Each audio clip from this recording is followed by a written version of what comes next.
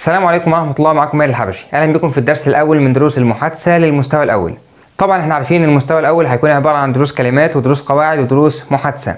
وزي ما قلت لك لازم تبدأ بدروس الكلمات ودروس المحادثة الأول تخلصهم وبعد كده تبدأ تدخل على دروس القواعد. ما تبدأش بالقواعد مباشرة.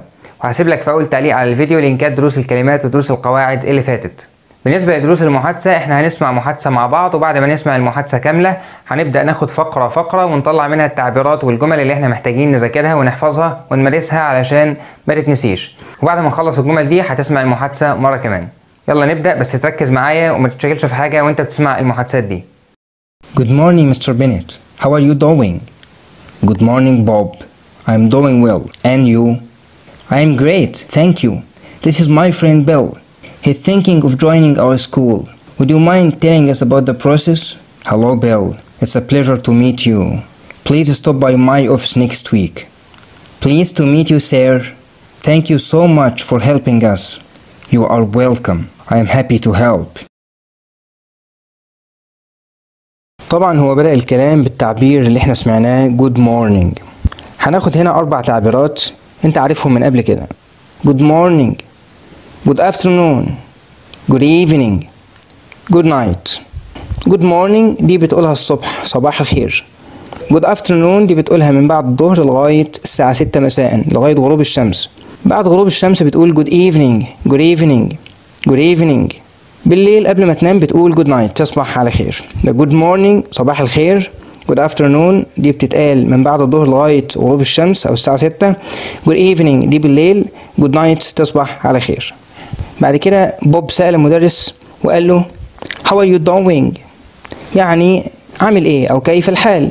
في الإنجليزي علشان تسأل حد عن حاله عندك formal ways اللي هي الطرق الرسمية وال informal ways الطرق غير الرسمية. ال formal ways الطرق الرسمية دي بتستخدمها مع حد ما تعرفوش أو حد أول مرة تقابله أو حد أكبر منك سنا أو مقاما. زي المدير بتاعك أو شخص أكبر منك في السن أو المدرس بتاعك ودي بنستخدم فيها how are you doing يبقى how are you doing دي formal way يعني طريقة رسمية تسأل بيها حد هو عامل إيه. وعلشان هنا بوب بيكلم المدرس بتاعه فاستخدم الطريقة الرسمية أو ال formal way اللي هي how are you doing. في informal ways طرق غير رسمية. دي بتستخدمها مع أصحابك مع حد أنت تعرفه ودي ليها طرق كتير هناخد منهم ثلاثة is it going? How is it going? What's up? How is life? يبقى لما تيجي تسأل حد how are you عامل إيه أو كيف حالك في formal ways اللي هي how are you how are you doing وعرفنا إن دي بتستخدمها مع الشخص الأكبر منك سنا أو مقاما أو الشخص اللي مفيش بينك وبينه سابق معرفة. وفي informal ways طرق غير رسمية ودي مع أصحابك أو الناس اللي أنت عارفهم قبل كده. How is it going? What's up? How is life? نسمع بقى المدرس رد عليه قال له إيه؟ ركز. Good morning Bob. I'm doing well. And you? رد عليه التحية قال له Good morning. صباح الخير. I'm doing well. يعني أنا بخير. هنقف هنا نعرف لما حد يسألك عامل إيه أو كيف حالك ترد عليه إزاي. في طرق كتير للرد. منها التعبير اللي موجود قدامك. I'm doing well. يعني أنا تمام. أو I'm fine. أنا بخير. أو things are good. الأمور تمام. أو لو أنت مش مبسوط قوي ممكن تقول not bad. ليس سيئا. يعني هي ماشية. في الفقرة الثانية بوب بيقدم للمدرس صديقه بيل. نسمع قال له إيه؟ This is my friend Bill. He's thinking of joining our school. Would you mind telling us about the process? لما كان بوب حابب يقدم صديقه المدرس بدأ ب this is. This is. هذا يكون. لما تيجي تعرف شخص على شخص تاني بتقول له this is وتذكر الشخص ده مين. This is my friend هذا صديقي. This is my brother هذا أخي. This is my teacher هذا مدرسي. طيب في صيغة تانية أعرف بيها شخص على آخر؟ أيوة. ممكن تقول have you met يعني هل قابلت؟ My friend أحمد Have you met Professor John? يبقى لما نيجي نعرف شخص على شخص ممكن نقول this is أو have you met? ونذكر الشخص ده مين. بعد ما قال له this is my friend Bill قال له he thinking of joining our school. يعني هو بيفكر في الانضمام لمدرستنا. مش هنركز في الجزئية دي هندخل على الجزئية اللي بعدها. Would you mind telling us about the process?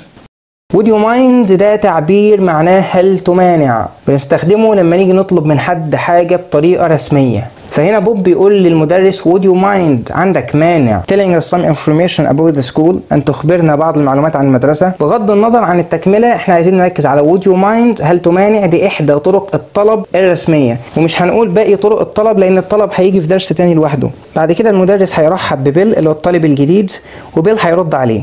نشوف المدرس قال إيه. نسمع. Hello Bill. It's a pleasure to meet you. Please stop by my office next week. Pleased to meet you sir. Thank you so much for helping us. هنا المدرس رحب ببيل قال له hello Bill لما تيجي ترحب بحد ممكن تقول له hello ممكن تقول له hi وعندنا hello دي صيغة formal يعني صيغة رسمية للترحيب. يبقى لما يكون في شخص ما تعرفوش أول مرة تقابله ما ينفعش تقول له hi لا لازم تقول له hello أكيد أنت كده فهمت إن hi دي ال informal way الصيغة غير الرسمية يعني تقولها لأصحابك. فالمدرس قال له hello Bill it's a pleasure to meet you ده تعبير معناه مبسوط إني شفتك سعيد برؤيتك. فلما تقابل شخص لأول مرة وتحب تعبر عن سعادتك بمقابلته أو برؤيته بتقول له it's a pleasure to meet you. ممكن برضو تقول له nice to meet you. يبقى nice to meet you it's a pleasure to meet you. دول تعبيرين معناهم مبسوط اني شفتك أو سعيد برؤيتك. بنستخدمهم لما نقابل شخص لأول مرة ونحب نعبر له عن سعادتنا بالمقابلة دي. بيل رد على المدرس قال له pleased to meet you. Pleased to meet you ده تعبير ثالث معناه برضو مبسوط اني شفتك أو سعيد برؤيتك. يبقى عرفنا ان لما تحب تعبر عن سعادتك برؤية شخص بتقول له it's a pleasure to meet you أو pleased to meet you أو nice to meet you. أو مبسوط إني شفتك. والرد بيكون نفس الكلام زي ما إحنا شفنا. المدرس قال it's a pleasure to meet you. وبيل رد عليه قال له pleased to meet you. بعد ما رحبوا ببعض بيل عايز يشكر المدرس فقال له thank you so much for helping us. إحنا طبعا عارفين لما أجي أشكر حد أقول له thank you. وده تعبير كلنا عارفينه. المهم بقى لما حد يقول لك thank you ترد عليه تقول له إيه؟ نسمع المدرس قال إيه ل Bill نسمع مع بعض. You are welcome. I am happy to help. You are welcome. يعني على الرحب. يعني تحت أمرك. يعني ولا يهمك. إحنا ممكن طبعا نختصرها ونقول you're welcome. طيب في فرق بين إني أقول you are welcome بدون اختصار وإني أقول you're welcome باختصار؟ طبعا. You are welcome بدون اختصار. دي ال formal way يعني الصيغة الرسمية. دي اللي بتقولها للناس الأغراب أو اللي هم أعلى منك. ولكن لو قلتها بالاختصار وقلت you're welcome. دي ال informal way يعني الصيغه غير الرسميه زي ما قلنا اللي هي مع أصحابك أو الناس اللي أنت تعرفهم وفي صيغة تانية للرد على الشكر برضو informal اللي هي don't mention it وده نفس المعنى بالظبط زي ما قلنا ولا يهمك أو تحت أمرك دلوقتي عايزك تسمع المحادثة كلها مرة كمان وتحاول تركز على التعبيرات اللي إحنا قلناها. Good morning Mr. Bennett. How are you doing? Good morning Bob. I'm doing well. And you? I am great, thank you. This is my friend Bill.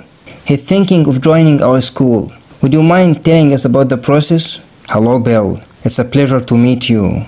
Please stop by my office next week. Pleased to meet you, sir. Thank you so much for helping us. You are welcome. I am happy to help. بعد ما سمعنا المحادثة وطلعنا الجمل والتعبيرات اللي فيها وعرفناها كويس عايزك تسمع الدرس مرة كمان وتمسك ورقة وقلم وتكتب التعبيرات والجمل دي وتحفظها كويس وتمارسها زي ما قلت لك. وطبعا بفكرك إن مواعيد دروسنا هي السبت والثلاث من كل أسبوع. أشوفكم السبت الجاي بإذن الله في درس جديد والسلام عليكم ورحمة الله وبركاته.